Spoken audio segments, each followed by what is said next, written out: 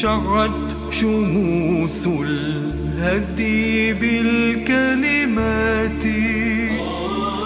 فأنارت الأفهام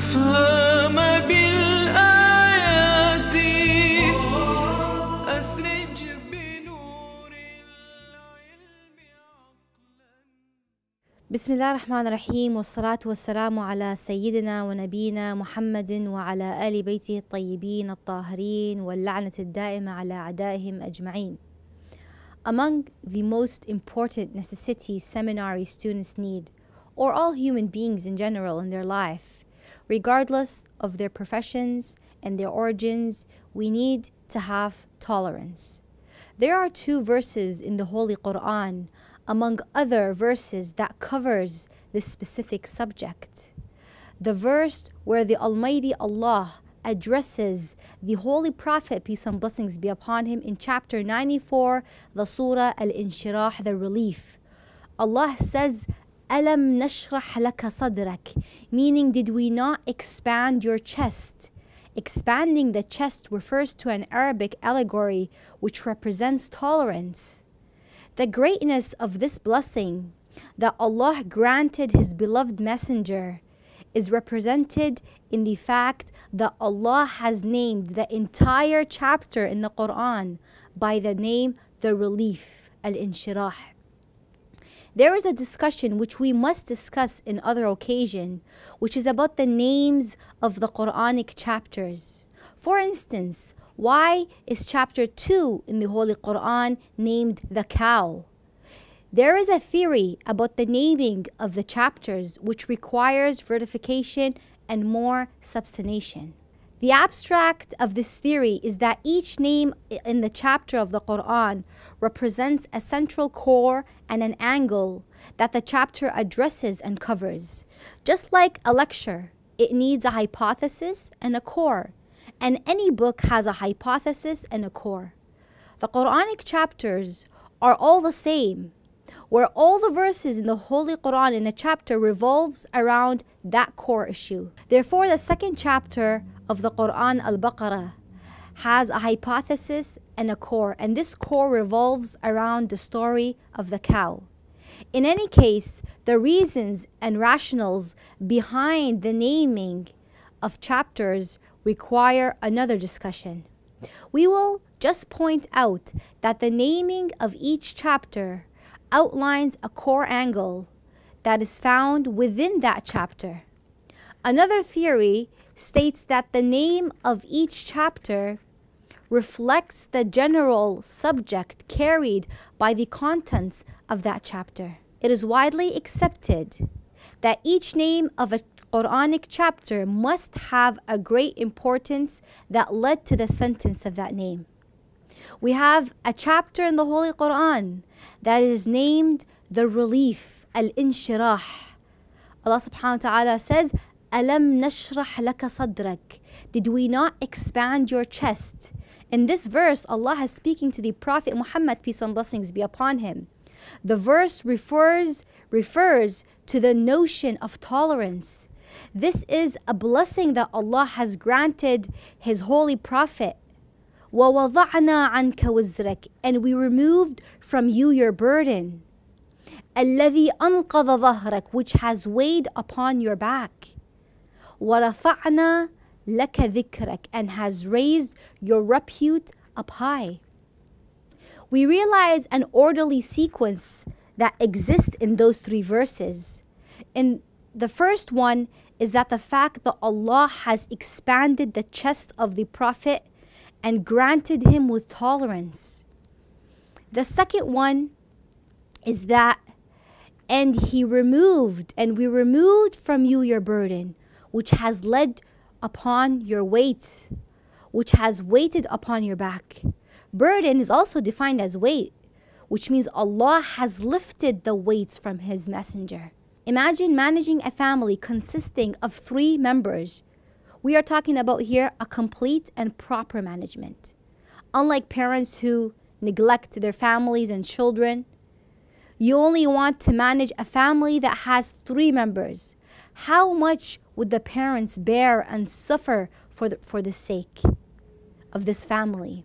Some children actually, they tire their parents, and truly, some parents age older because of their children. The Prophet Muhammad, peace and blessings be upon him, has assigned this great responsibility, the prophethood, which is the greatest responsibility and obligation in history in the universe. It is a responsibility that is guiding mankind until the day of resurrection. In that complicated environment, which has filled with contradictions, how did the Prophet endure and bear those burdens and weights? And when I say the complicated environment, I am referring to the Arabian and pre Islamic era. How did the Holy Prophet, peace and blessings be upon him, tolerate those burdens? And how were they lifted from him? Was what was the essence of placing those burdens and lifting them? Did the lifting of an external nature to it? Or was the meaning was it a meaning of an actual physical lifting of the weights and burdens? Or did the lifting have an internal nature, feeling, which means it is a metaphor that refers to psychological aid from Allah subhanahu wa ta'ala in the time of hardship? Most likely, it's a metaphor. And so Allah subhanahu wa ta'ala lifted the burdens. It had an internal nature because the hardships of the Prophet never decreased. They were consistently increasing due to his responsibility and obligations. Therefore, how did this lifting of burdens occur? ورفعنا عنك وزرك الذي أنقض ظهرك and we removed from you your burden which had led weight upon your back. When you carry something heavy on your back, it makes a crack sound, in which in Arabic it's called anqadha. The Prophet was able to tolerate those burdens because he had a great and tolerant heart. A man with such a heart would always face hardships and heavy burdens. Let's give an example here. You take a small stone and you drop it in the pond. You will notice that the water would ripple and there would be waves in the water. And if you put so much rocks, the water will overflow. However, drop hundreds of thousands of rocks in a sea. The sea would contain and take all of them. No one has a life free of hassles. Does a scholar live without hardships? Does a woman live without hardships? Does a man live without hardships? Does a merchant live without hardships? Everyone has hardships. Yet, by having a great and tolerant heart, those hardships can be contained. If we were able to use a realistic example for this notion, it would be best to represent or to present through a weak and strong body. So, a person with a weak body was once told by his physician that you should not even lift a book. A book with 100 pages he could not lift. He did not have the strength to lift that book. But there are people who are able to pick up 100 kilos of weight. So the issue of lifting itself is not the problem. The person who is lifting heavy weight has a physical capability and bears the weight. A great and tolerant heart is similar to that example. Regardless of the size and the extent of a problem, the heart will always be bigger and stronger. Sometimes it would appear that those people they don't even have hardships. Hardships don't even exist in that person's life. Look at the great people in history who have a great and tolerant heart. It seems like that they don't have any problems and the hardships in their lives. Yet they actually swam through, through the most difficult and challenging hardships. This is how the heart of a tolerant becomes. Therefore, the first step we have to learn is to keep our hearts big. In other words, our chest relief. As what the Holy Quran says and describes sharh al-sadr, meaning being tolerant. The second stage is lifting your burdens. As described earlier, the concept of lifting those burdens can be internal in nature with psychological aspects where the burdens and weights are not felt by the person. In addition, the lifting can be external as well, which basically means hardships and burdens are not felt by the person or will collapse before the person who has tolerance. The third stage, وَرَفَعْنَا لَكَ ذِكْرَكَ and raised high for you your repute. Let's pay attention to the blessings that Allah subhanahu wa ta'ala has granted His Holy Prophet. Allah has given His divine name to the Prophet in the two testimonies of Islam, which any person testifying to Islam must testify to, are La ilaha illallah, meaning no God but Allah. Wa Muhammadun Rasulullah, and Muhammad is the messenger of Allah. You find the same in the adhan, in tashahhud, during your prayers, as they both contain the two testimonies of Islam. The Quran also states that the same association, it states, obey Allah and obey the Messenger. And another verse states and says that Allah and His Messenger has enriched them of His bounty. There are these three stages tolerance, sa'at al-sadr, lifting the burdens, wad' al-wizr, and the third stage, elevating repute, waraf al-dhikr. These three stages are sequential stages. The three Quranic verses which we mentioned addresses the notion of expanding the chest, tolerance. We also have in another verse that the Holy Quran addresses the opposite notion. The Almighty Allah states in His holy book, يجعل صدره ضيقا حرجا كأنما يصعد في السماء. The translation of this verse, He makes His chest tight, constricted through as He were climbing into the skies. This applies to some individuals. It is said that this verse is one of the miracles of the Holy Quran, as this verse was not well understood until science came along and has clarified its meaning. Modern science states that the breathable air is layered by pressure, and therefore we are able to breathe. However, at a, a higher altitudes, the density and pressure of air decreases, and this results in having difficulty breathing. Hence, if someone goes up several kilometers up high, he or she is not able to breathe. And this was not a familiar concept in the previous era because breathing will be very difficult. And if one continues to go up higher, breathing will be so difficult that one will faint. And Allah said it in the Quran, يجعل صدره ضيقا حرجا كأنما يصعد في السماء. The verse says he makes his chest tight, constricted through as he were climbing into the sky.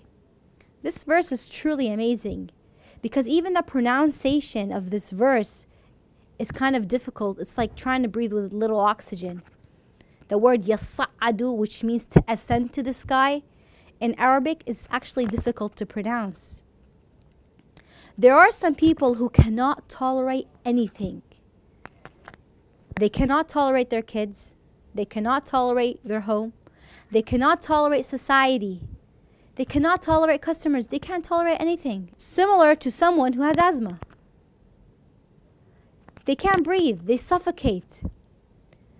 These Quranic verses which I mentioned, those that speak of expanding the chest and constricting the chest represents the opposite side of this topic. And there is another other Quranic verse that addresses this topic as well. However, we will move on to another topic, which is the scope and issue that requires tolerance.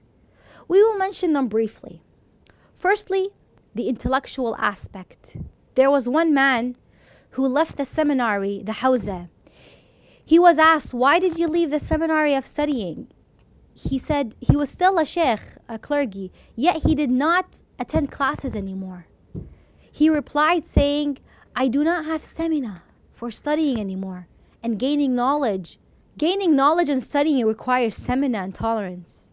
Imagining a person swamped with social problems and yet he or she has to come to the seminary, the hawza, and study a very hard concept like this, the definition of literal interpolation. Literal interpolation is a suffocated seminary subject. With the studies of Arabic literature and subjects and principles. You have to find the difference, the different definitions of literal interpretation. There are four definitions. The first definition has three proofs. The first proofs have two rebuttals. And the first rebuttal has two several debates and defenses. Do you really think that many people have patience for such a topic or such a subject?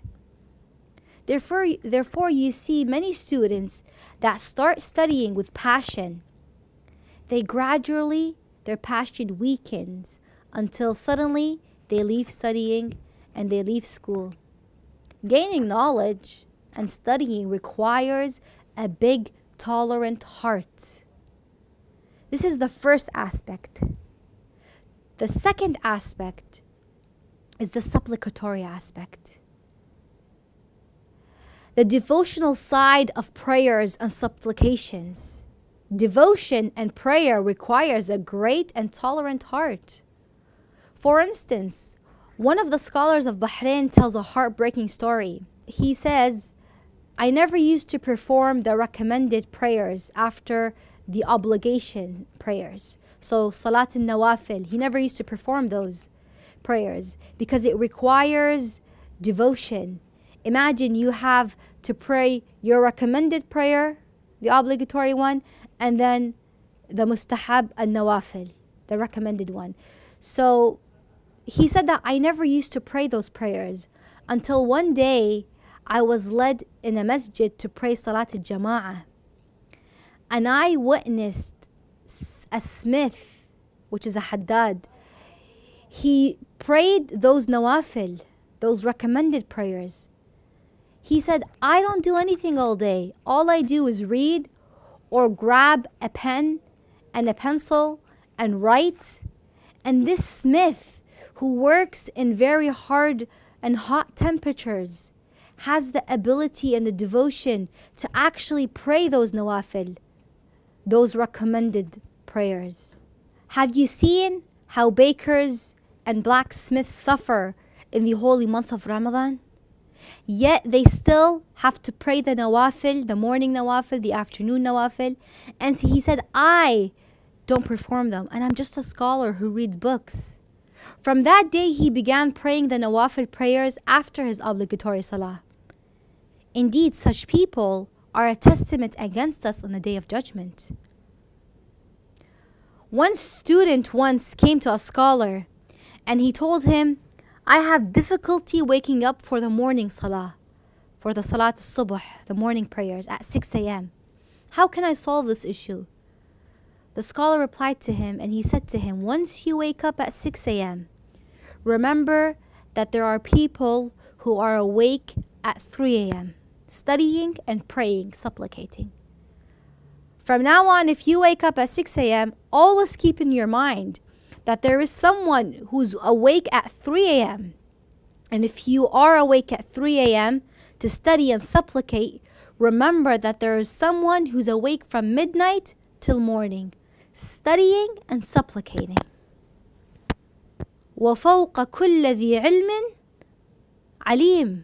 Therefore, no matter how much a person works and strives, there's always someone who works more.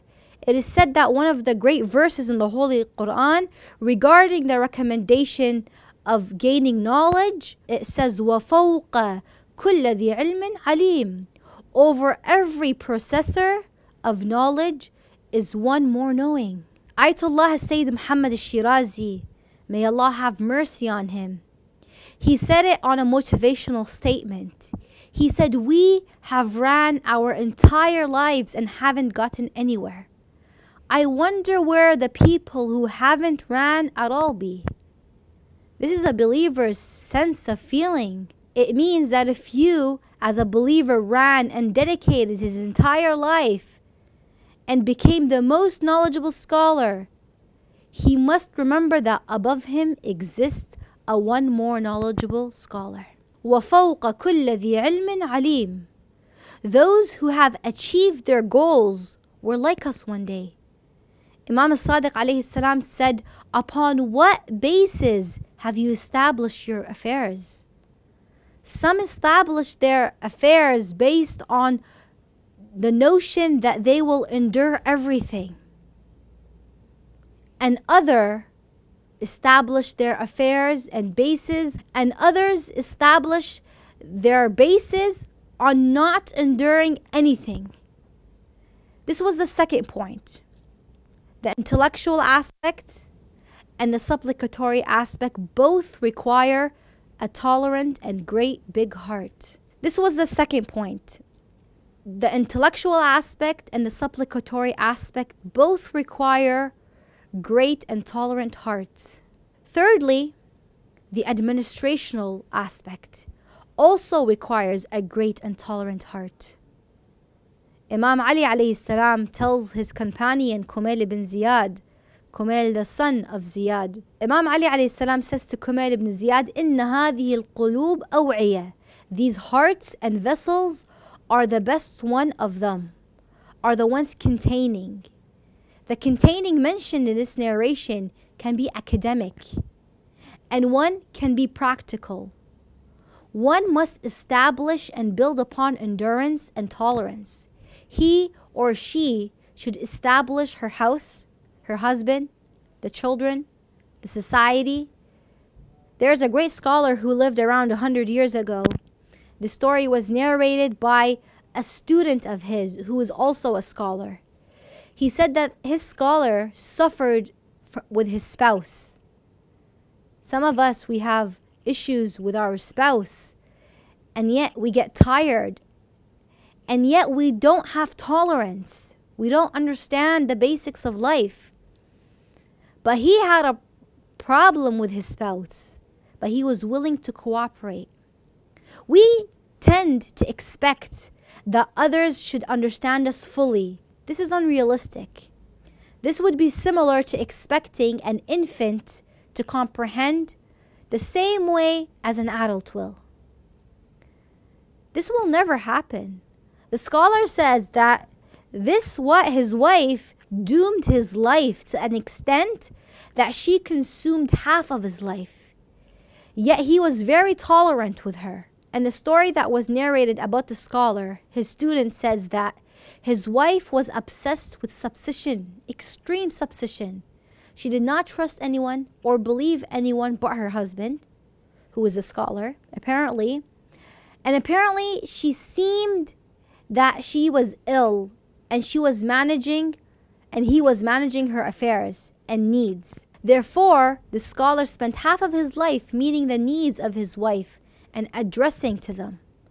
For example, one of them that was mentioned was that she, they lived in Najaf and they had a very deep basement. And in that basement, there was a big container of water. So the wife came to a point where she assumed that the water in the container is impure. So she came up with an idea to bring that container and to purify it and then return it back. So it needed a handyman to be hired to lift it up that heavy container of water to the courtyard and then to purify it. Then for a moment she was like, what if that handyman's shoes and feet are dirty and it's impure? His hands might be impure. Therefore, the whole entire house will be impure. So, and she's very thin. So she said to her husband that you have to go down to the basement, bring that container of water to the courtyard, purify it, and return it back. How many of us can handle that? This is a scholar, but he had a big and tolerant heart. Others might not be like the scholar, and others may end up divorcing their wife. Wasn't the Prophet capable to divorce a couple of his wives in the early days of his marriage? The society has certain expectations, and society does not comprehend that you might have hardships in life. Nonetheless, society might put pressure on a person with expectations. By not having a great and tolerant heart, that one would not be able to tolerate and endure the society and its challenges. And it is narrated that is there is one scholar named Sheikh Zayn al-Abidin al-Mazindarani once he was on his way to visit Imam al-Hussein alayhi salam's shrine, and a poor man, a beggar, came up to him and approached him, and he said to him that I want money. And that man was from the progeny of Imam Hussein alayhi salam, so he was a Sayyid. And he asked him for some money. Now the Sheikh said, I'm on my way to the ziyarah and I don't have money with me. However, once I'm done from my ziyarah, come to my house and I will give you money. That beggar did not leave the sheikh. He kept begging and begging until he got mad and he had no patience that he spat on the sheikh's face. The people who were around the sheikh wanted to discipline him. The sheikh said, No, leave him. That spit that he spat on me is from a Sayyid, someone from the progeny of Rasulullah. Therefore, my face will not be burnt in fire in hell. Imagine what kind of tolerance this scholar had. Once Allah subhanahu wa ta'ala told Musa, Go to Pharaoh and send a message, he said, Allah expand my chest. Rabbi shrahli sadri. Therefore, we have the intellectual aspects of tolerance, the supplicatory aspects, and the administrational aspects in general in life we need to be tolerant and we need to have a big heart. We ask Allah subhanahu wa ta'ala, the Almighty, to aid us with the path. وصلى الله على سيدنا ونبينا محمد وعلى آل بيته الطيبين الطاهرين الفرد الذي له قلب كبير كلما يواجه من المشكلات وكلما يواجه من الأثقال يحتوي هذه المشكلات هذا القلب الكبير.